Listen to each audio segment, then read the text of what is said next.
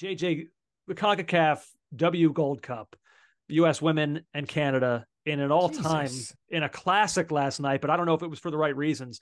2 2, and then the U.S. go on and win 3 1 on penalties. But that is only, a, I mean, it's a hu- a huge part of the story. But my God, what an absolutely ridiculous game of soccer this was. Um, yeah, watching this game, it made me think more about my opinion from the other day when we were talking about Real Salt Lake and LAFC and that match taking place. And I was like, yeah, I think I'm okay with it. Was I wrong? like, now I do think what happened last night was way worse. But if if the if the basis for that opinion is if if me saying last night shouldn't have happened because of how dramatically it affected the way the game was played, that was kind of true in the Real Salt Lake LAFC game as well. So if you feel that for one game, I wonder if you kind of have to feel it for for both. Although I'm Uh, going off on a on a tangent there. Like I was reminded of England versus Poland or Poland versus England a few years ago. Remember, it got called off, and the referee went out, and the test was to throw the ball, and the ball wouldn't bounce, and it wouldn't go, you know, it wouldn't go any distance. Yeah. Uh, it was just it, but the Polish field was just was probably on the same level as what the US and Canada played on last night. Exactly that way. That was crazy. It was it was insanity. The only thing I would say was that the, whatever drainage system they have at Snapdragon Stadium seemed to kick in uh, in the second half, or just maybe Well, no, all halftime was spent with a team of people squeegeeing water off the field. They were doing Yeah. it manually. yeah. I mean, and it was sure still it was still terrible in the I mean, it was half. it was bad. Honestly, I don't think the game should have started. It shouldn't have started, and, and- uh, yeah but it did, and it was. I mean, you can't say it wasn't fun. No it was very fun. But like the other question though that i have with it is like should a regular season game be handled differently than a than a cup semifinal? Like this is a semifinal of a cup. And so like to.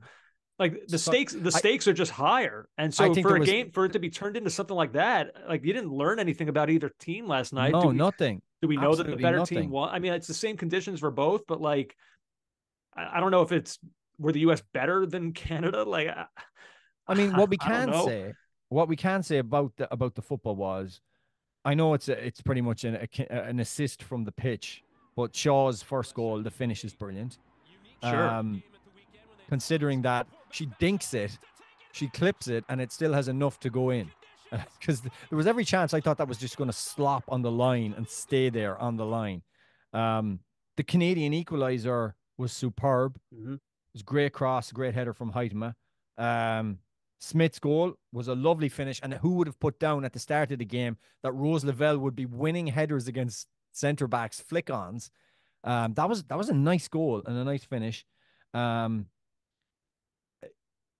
we we have to talk about Alyssa Naeher because she turns out to be the hero in the end, with three penalty saves, all the same side, all the same height, almost identical incredible incredible. Um, but the equalizer goal in in in extra time, I mean, it's a it's something we've spoken about. It's such a penalty. She absolutely cleans uh, Gilles out of the way, like just goes through her. It is.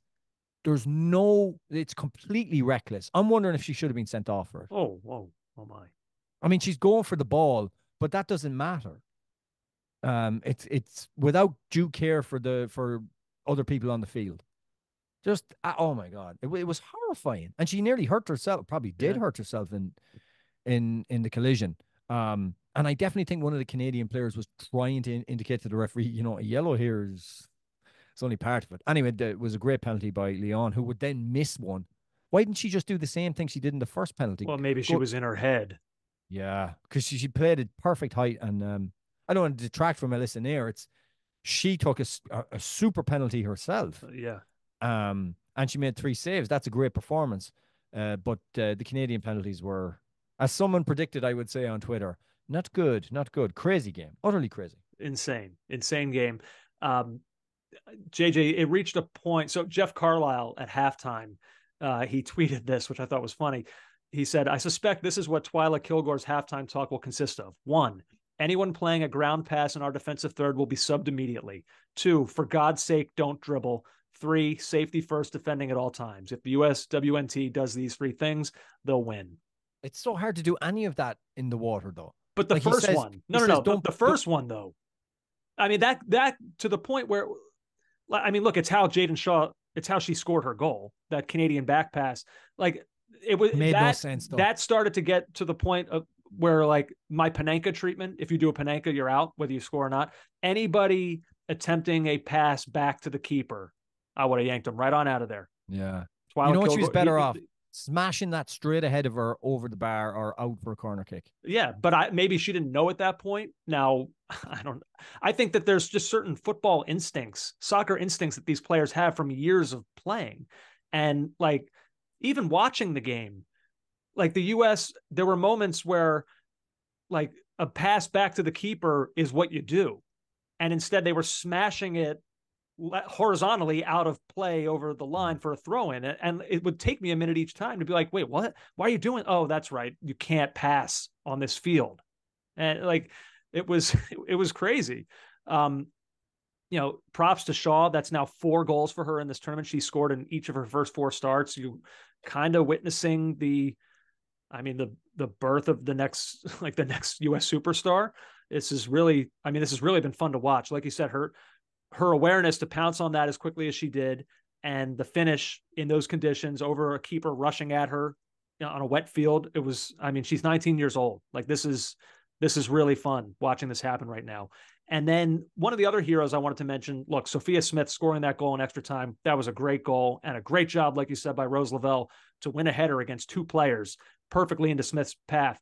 But something that i enjoyed even more than that the last time we really saw sophia smith for the us it was her missing a decisive penalty at a World Cup. Mm-hmm. This game, then, in a semifinal of a wild game, a memorable, emotional, physically draining, exhausting game, this game then goes to penalties. And what happens? Twila Kilgore, to her credit, sends Sophia Smith out there to take the very first one. What has happened in the past, that be damned. You are still someone that we believe in here. And she converts it. It was close, but it was perfect. It was into the side netting, just snuck between the keeper and the and the post. Then she scored. You could see that there was relief, I think, that it went Mm. in. And good for her. I just thought like she needed that to go in after having missed such a vital one. I thought that was I was I was happy for her and certainly happy for the team that they pulled that out because I mean, look, I don't know if a, if winning a game like that in those conditions, I don't know if it tells you that a team is good or bad or whatever, but I do know games like that, I do think bond teams, like that's a shared experience. Winning an insane game like that, that I think help teams grow and get closer together. You know, new players, veteran players, like they all have that together, that they were a part of that last night. I hope they can finish the job now against Brazil. So wild one last night.